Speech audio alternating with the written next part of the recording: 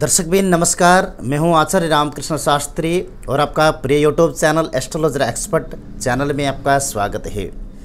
आज मैं आप लोगों को विशेष एक दूसरा जो चैनल मैंने अभी निर्माण किया है, दिव्य ज्ञान मंत्र, आप उस चैनल पर भी जाकर आप ज़रूर आप सर्च करेंगे तो उसमें भी आपको ज्ञान की बातें जो है आपको सुनने को मिलेगा। तो आज हम उपस्थित हुए हैं पुत्र प्राप्ति के निमित्तार्थ। जो उपाय मैंने इससे पहले आपको प्रस्तुत किया है उन उपाय से बिल्कुल हटकर जो उपाय मैं आज आपको लेकर उपस्थित हूँ, ये उपाय आपको संतान प्राप्ति में बाधा के साथ में, पुत्र प्राप्ति में जो अनन्य बाधाएँ जो आपके सामने उपस्थित हैं, वो सभी बाधा को दूर करने के लिए ये सहज उपाय हैं। इसको आप सहज तरीके से आपको निवारण कराएँगे तो आपको अच्छा आपको लाभ मिलेगा। और संतान में पुत्र प्राप्ति करने के लिए विशेषकर महिलाओं का जो डेट होता है, उसमें दसवां, बारहवां, चौदहवां अथवा सोलहवां दिन में गर्भ धारण करने से पुत्र प्राप्ति होता है। इससे पहले कई वीडियो मैंने अपलोड कर चुका हूँ। उसके साथ में भी सूर्य अथवा चंद्र स्वर का विभाजन भी मैंने इससे पहले आपको कई वीडियो में मैंने इसका गणना भी मैंने आपको बताया है। तो ऐसा ही आज मैं आपको इनके अलावा भी, जैसा कि कुंडली के अंदर स्त्रीजन्य ग्रहों का छाया विद्यमान होता है संतान क्षेत्र में तो ये विधि सभी फेल होते हैं। और उसके लिए आप विधित तरीके से किसी योग्य ब्राह्मण द्वारा परामर्श लेकर ही आप आगे बढ़ने की मैं आपको आज्ञा दूँगा। क्योंकि उससे आपको अगर पहले एक अथवा दो कन्या उत्पन्न हो चुकी हैं तो उसमें आपको रिक्स की अवस्था नहीं रहता। इसलिए इसी तरीके से आप आगे बढ़ेंगे, उसका मैं कामना करता हूँ। और किसी प्रकार के कोई भी जिज्ञासा है तो आप हमारे जो परामर्श शुल्क होगा, उसे पे करके आपको स्क्रीन पे अथवा जो डिस्प्ले पे दिया हुआ जो नंबर होगा, इस पर आप संपर्क आप ज़रूर कर सकते हैं। पुत्र प्राप्ति चाहने वाले महिलाओं के लिए विशेषकर, शुभ मुहूर्त में जैसा शुक्ला पक्ष के गुरु पुष्य योग होता है अथवा रविवार के दिन पुष्य नक्षत्र होता है, शुभ योग अथवा शुभ वार के दिन आप पीली कौड़ी लेकर पीले धागे में बाँध के महिलाओं को कमर में बाँध देना चाहिए। सीधे जो हाथ है अथवा सीधे करवट की तरफ़ पीली कौड़ी महिलाओं को बांधना चाहिए, जिसे पुत्र प्राप्ति की कामना सिद्ध होता है। बरगद के पत्ते में स्वस्तिक बनाकर भगवान गणेश जी के चरण में अथवा भगवान श्री कृष्ण के चरण में ले जाकर अर्पण करेंगे और मन में कामना करेंगे कि मेरा पुत्र प्राप्ति का जो संकल्प है, पुत्र प्राप्ति का जो कामना है, ये हमारा शीघ्र संपन्न हो। इस प्रकार के कामना रखेंगे। तीसरा क्वेश्चन के ऊपर फोकस करते हैं।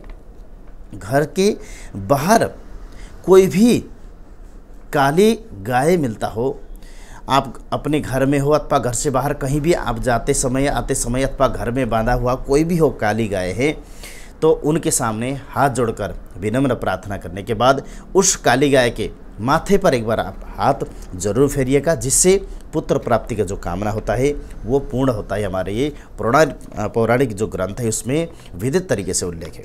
चौथा है, आपके घर के बाहर अगर कोई भिकारी आता है वो भी बाल्यावस्था में अथवा युवावस्था में अगर कोई भिकारी घर के बाहर आता है तो उससे गुड़ के खीर बना के आप खिलाइए।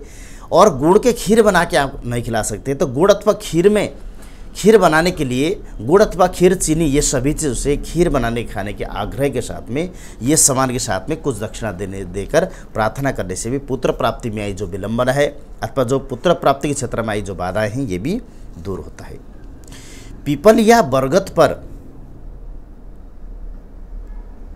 बुधवार के दिन दीपक जलाकर 11 दिन परिक्रमा करने से पुत्र प्राप्ति का कामना सिद्ध होता है।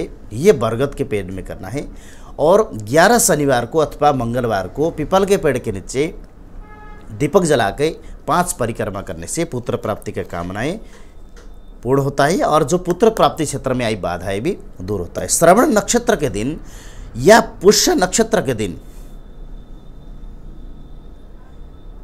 आप श्रवण नक्षत्र अथवा पुष्य नक्षत्र किसी ब्राह्मण द्वारा आप दिखाइएगा।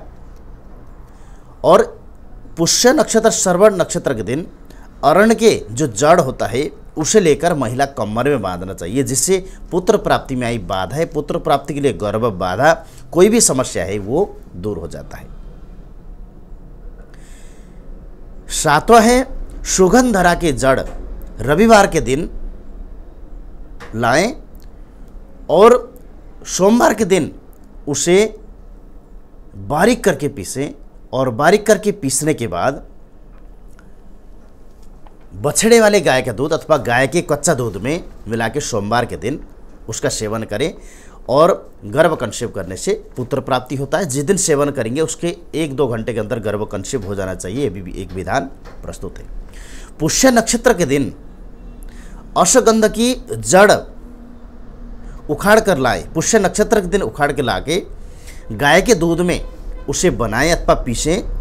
पीसने के बाद दसवां, बारहवां चौदह अथवा सोलह, जैसा महिलाओं को गर्भ कंसीव करने के लिए जो सा डेट आने के दसवां, बारहवां चौदह सोलहवां दिन इसे पिला पीने से और उसी दिन गर्भ कंसीव करने से पुत्र प्राप्ति की कामना पूर्ण होता है।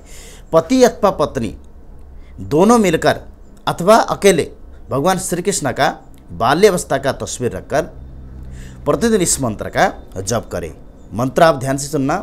देवकी सुत गोविंद वासुदेव जगतपति देही में तनयम कृष्णा त्वमाहम शरणागता। इस मंत्र का जप करेंगे और डिस्क्रिप्शन पे भी ये मंत्र लिखा हुआ आपको मिलेगा। रेवती नक्षत्र के दिन बेल के पत्ते आपको लाना होता है।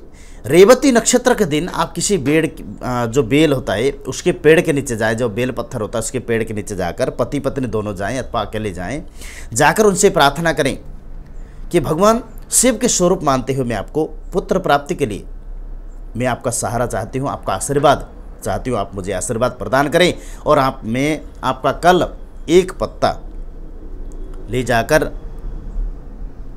उसको मैं बारीक करके पीसने के बाद मैं दूध के साथ सेवन करूँगी, जिससे मेरा पुत्र प्राप्ति का जो कामना है, वो पूर्ण हो। ऐसा कृपा प्रदान करें। इस प्रकार से कामना करके आप आएँ और अगले दिन वहाँ से बेल का पत्ता तोड़ के ला के भगवान श्री कृष्ण अथवा भोलेनाथ के स्मरण करते हुए उस पत्ते को दूध में पकाएँ अथवा उसको घोट कर आप दूध में रखकर एक गिलास कच्चा दूध के साथ आप उसको सेवन करें, जिससे पुत्र प्राप्ति का जो कामना है आपका वो पूर्ण होगा।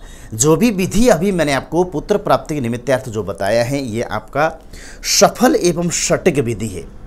इसके अलावा भी कोई भी जिज्ञासा आपके मन में है, कोई भी जानकारी आप लोग चाहते हैं, उन जानकारी को से संतुष्ट होकर अगर आप लोग आगे बढ़ना चाहते हैं हंड्रेड परसेंट पुत्र प्राप्ति की कामना से अगर आप लोग आगे बढ़ना चाहते हैं तो हमारा जो परामर्श शुल्क होगा, उसे पे करने के पश्चात आप हमारे इसी नंबर पे पे कर सकते हैं। इसी नंबर पे व्हाट्सएप के माध्यम से अथवा फ़ोन कॉल के माध्यम से आप हमारे से संपर्क में आ सकते हैं। उसके बाद आपको जो भी समस्या है, उन समस्याओं का निवारण के साथ में आपके संतान क्षेत्र में किसी भी प्रकार के स्त्रीजन्य ग्रहों का छाया तो विद्यमान नहीं है।